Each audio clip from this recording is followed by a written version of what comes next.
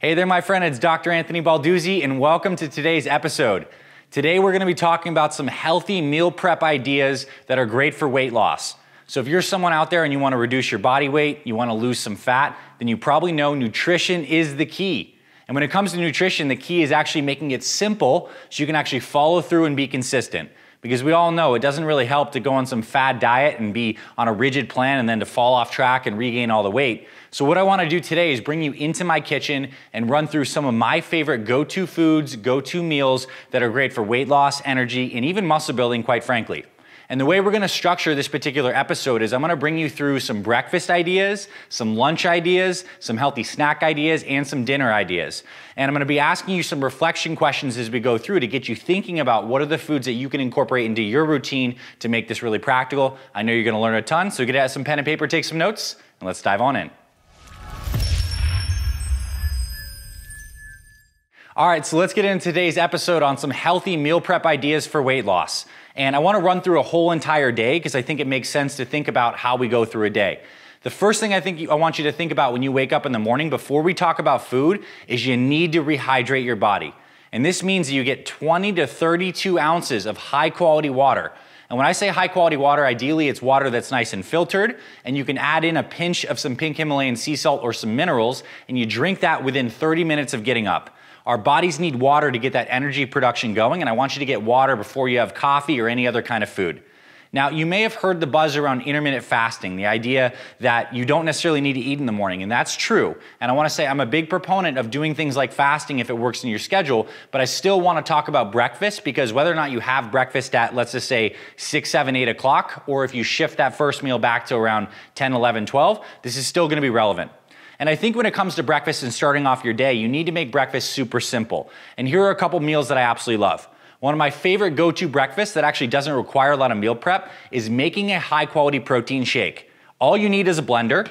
You need a high quality protein powder. So this is our Fit Father version of Superfuel. It's a whey protein powder. We also have plant-based versions, but you wanna get a protein powder that has around 20 to 25 grams of protein per scoop, and it's low in sugar, and ideally has some other good nutrients in it like probiotics, vitamins, and minerals like ours. But you throw about a scoop, a scoop and a half of protein. You can throw in some chia seeds and hemp seeds, maybe about one to two tablespoons of that, a little bit of almond milk or dairy milk if you like that, some wild frozen berries, and you can blend up a delicious shake. And one of the reasons that protein shakes are so good in the morning is because they take a little bit of time, like, like five minutes. They keep you very full. They don't have a lot of digestive stress, and you can be so consistent with it. So, if you're a busy parent and you're running around prepping your kids for the day, getting ready to go out to work, you can blend up a shake and get amazing nutrition. You don't need to think about it, it's automatic. So, I'm a huge fan of protein shakes. And if you ever join any of our Fit Father or Fit Mother programs, we give you a bunch of different shake recipes and smoothie recipes using some great ingredients. They're super delicious, and it kind of becomes addictive because you have such a good routine. Now, another thing that's easy for breakfast is making an egg recipe. So I have a couple options here, and I'll show you this a little bit closer on screen. But I just took some three eggs, and these are high quality eggs. You can see the yolk, it's kind of orangish. Uh, and these are sunny side up. I just put a little butter in a pan and I fried these things up. I put it on a side of some sprouted uh, microgreens, and I had some leftover green beans from the night before, and I have a little piece of Ezekiel bread toast. So this meal doesn't take very long to make. I mean, just making some eggs up it takes like five minutes to make something like this. Eggs are a phenomenal, phenomenal breakfast food. They're high in protein, high in healthy fats, high in the choline that fuels your brain. So when I'm thinking about healthy breakfast, it's either a shake or some eggs, or the final option I recommend for you is making something like an overnight oatmeal.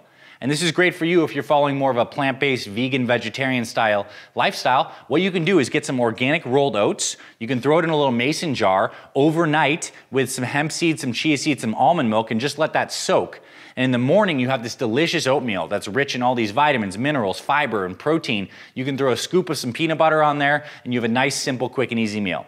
The main thing I want you to say right now and think about is breakfast needs to be standardized. I want you to think, pick one or two go to options and nail it every single day. Because what happens is when you're consistent with breakfast, it means you're gonna carry that momentum on into lunch, snack, and dinner, and this whole wheel of positive momentum churns in your life. So, shakes, eggs, overnight oatmeal, or even leftovers from dinner the night before are great breakfast options. Now, in between breakfast and lunch, I want you to just focus on hydrating. Don't snack. Allow your body to have eaten the foods, digest, stabilize the blood sugar. Now, around, let's just say four or five hours later, you might be going for lunch. Now, how can we make lunch more simple and consistent? There's a couple things that are great. The first thing is you can get a salad, base of any kind of salad you like, spring mix, romaine, whatever, and you can throw some protein on top. So I have a really simple meal here. I have a little bit of some grass-fed ground beef that I made up here on the bed of some romaine lettuce with some peppers. I mean, this is a super easy and simple meal that doesn't take very much. How do you do this? Well, what we did the night before is we just pan fried a little bit of this grass-fed ground beef with some taco seasoning, and we had a little bit of these peppers that we just chopped up and, and sauteed right over there, and you just throw this on a bed of lettuce. This literally takes like under five minutes to make after you've done the little bit of prep. So if you have these things sitting in your fridge, whether it's a chicken breast you cooked, salmon, or if you're following a vegan vegetarian option, you can do some tempeh or something like this. Throw this on greens, you can always do salad and greens. And what's cool about this idea of lunch, of doing greens and some protein protein is that even if you're eating out, let's say if you're on the go and you need to go to some fast food chain, you can do this basically anywhere. You can go to McDonald's and get a chicken salad. You could go to Chipotle and get a base of some salad with some protein on top. So for lunch, I want you to think of getting that good base of greens with some protein on top that's gonna keep you full and it's very healthy.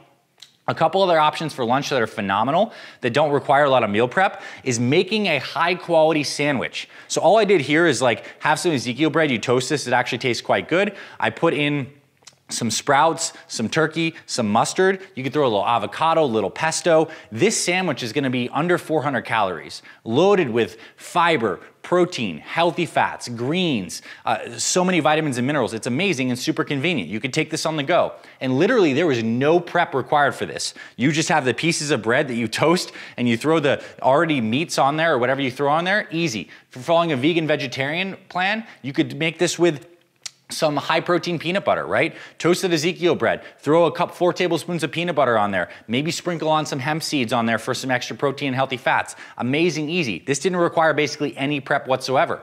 Other things that are really good for lunch is you can do leftovers from dinner. And when we get to dinner, I'm gonna talk about this concept of a perfect plate. This is what a perfect plate framework looks like. Half of your plate is gonna be some kind of veggie you love, a quarter is some kind of protein, a quarter is some healthy carbs or healthy fats. For lunch, you can just use leftovers from the night before. So you can see how this whole framework starts to stack on itself. It's really convenient. But typically for me, Ezekiel bread sandwich, leftovers from the night before, or some kind of protein salad is exactly what I'm looking for for lunch. Now, snack. Snack is something that you don't necessarily have to have, but I think a lot of people get in trouble between the hours of lunch around noon and dinner around five or six o'clock. That can be a long stretch. And if you don't eat anything, then you go over into dinner starving and you maybe overeat or eat the wrong foods, or you just don't have a good plan and then you snack on crappy foods or your blood sugar gets out of control. So I like to give people options on how you can do a healthy snack somewhere around two, three o'clock to take the edge off. A couple convenient things that are really good for meal prep for healthy snacks. One are hard boiled eggs. Whether or not you have eggs in the morning, you can basically make some hard boiled eggs. Very easy to do, right? You just boil these things on the stove top and you can make a dozen hard boiled eggs in under 15 minutes and they're just there. You can have those. You can pair those with a little bit of cheese if you want, if, you, if dairy feels fine for you. I have uh, some raw goat cheddar that you can pair with some eggs. That is a high protein, healthy fat snack that's super good. Other ideas for snacks that I love are getting some high quality nuts. These are some macadamia nuts. I love macadamia nuts, walnuts, pistachios. You can get around a third cup of these and pair it with a piece of fruit, like an apple. I mean, this is an amazing snack, non perishable, really no meal prep required. You just have to have this stuff around the house. Other things you can do, if you're the kind of person who likes bars, you can buy some high quality protein bars. I have a plant based one from Garden of Life here. I have a Go Macro bar over here that's good. You can also get a high quality protein yogurt. So I have a Greek yogurt with Chobani, and you could throw some berries in there, right? So, are any of these ringing bells for you as foods that you like? I want you to be thinking about what are your go to healthy foods. And when you figure those out, you buy them in bulk and you keep them around the house. And so far, outside of really like the eggs, and maybe the grass-fed beef or the protein that was on top of um, the salad here for lunch, no cooking is really required, right? We're, this is very simple and easy stuff that you can think about. Now, when it comes to dinner, this is where we need to be a little more strategic about our prep. And I brought up this idea of perfect plate. I wanna show it to you again. To make a perfect plate, you need to decide what are your go-to healthy veggies that you love, what are your go-to proteins that you love, what are your go-to healthy carbs that you love, and what are your healthy fats that you love. And you prep those things in bulk. And I wanna show you a couple perfect plate meals that fit this bill. This first one here, I have some grass-fed ribeye which we just literally cooked in the oven, and then we finished a little bit um, on, a, on a cast iron skillet. So this is not too hard to make. You can make this stuff in bulk. We just sliced this up. We made it the day before. We used a pressure cooker to make some of these uh, squashes. So this is a delicious squash. And to be really simple, we just threw it on the side of some greens. So there you go. Really easy, perfect plate. If you like beef, this would be something you'd really love. Here's a seafood-based perfect plate. We have some Cajun shrimp, which you can make on the grill, in the oven with some seasoning. You buy some high quality wild shrimp, season these puppies up. We have some roasted vegetables, some Brussels sprouts. Uh, there's some sweet potato in here, some acorn squash. Um, and then we mix this up with a little bit of some uh, long grain white rice. So this is a perfect plate. This works really well. And again, if you make this in bulk for dinner, you cook more in dinner, you're always gonna have leftovers for lunch. Another perfect plate that's really simple that a lot of people would like is some kind of like spicy chicken breast thing. So Chicken breasts on the grill. Again, white rice, which we made that in a rice cooker. We did some steamed broccoli and we have a little bit of avocado for healthy fats and I drizzled a little hot sauce on there. So these are pretty simple meals. And if you start to think about this for dinner and you're prepping your go-to carbs and proteins in bulk, you're gonna be in great shape. So for me and my family, we do once or twice a week, we'll have some kind of red meat. So either making that grass-fed taco seasoning, so we have a taco night and we cook up a bunch of that ground beef, or we'll make a ribeye steak, that's great.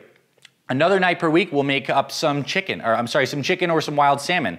And we typically do that most of the times in the oven. So you just put more than you need for dinner, just load it up there, bake this stuff in the oven. Now you have a bunch of leftovers you can use for lunch and for dinner that day. And when it comes to the healthy carbs, uh, personally, what I like to do is either sweet potatoes, some kind of squash, or some kind of rice.